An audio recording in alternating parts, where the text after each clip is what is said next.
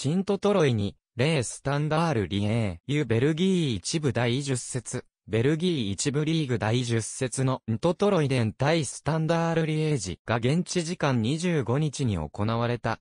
試合は2、0でホーム、シントトロイデンが勝利した。シントトロインの FW、鈴木優馬と GK シュミットダニエルが先、出場。MF、伊藤達也が70分から鈴木との交代で出場。ている。今シーズンの欧州サッカーはダゾーンで、いつもどこでも簡単視聴。1ヶ月無料お試し実施中。シントトロイデンはシュミットが、今季初出場、守護神を務めてきたケニー・ステッペが負傷で招集外となり、シュミットはクラブで10ヶ月ぶりの出場となる。不振が続く、シントイコールトロイデン。だが、この試合は、気合十分。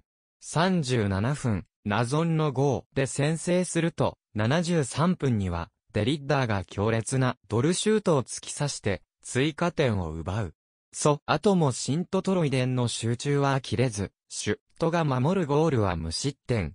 シントイコールトロイデは、開幕戦以来9試合ぶりとなる白星を手にし、得点者37分1、0ナゾン、シントトロイデン73分に、0でリッダー、シントトロイデン、両。